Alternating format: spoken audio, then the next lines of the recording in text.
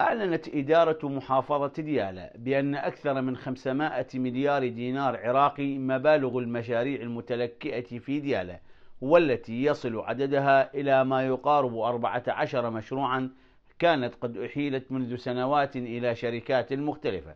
وهذه المشاريع وزعت آنذاك بين الصرف الصحي والمجمعات السكنية إلا أن جميعها لم تنجز بالفترة المحددة لها.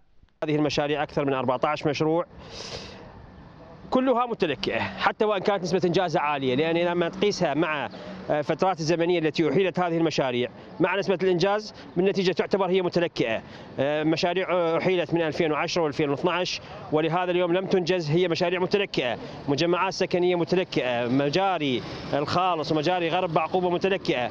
المستشفى اللي بلبة قضاء بعقوبة متلكئ.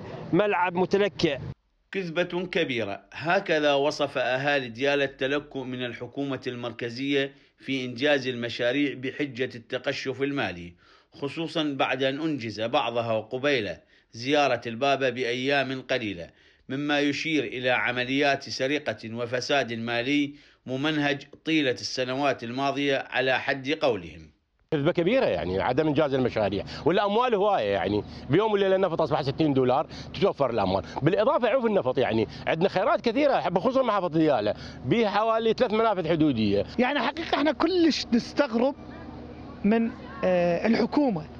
اللي صار لها سنين تقول إنه اني ما أقدر أنجز المشاريع ما أقدر أحارب الفساد ما عندي أموال وبيوم وليلة لمجرد إنه زياره مهمة إلى العراق ينجز عده مشاريع في آن واحد.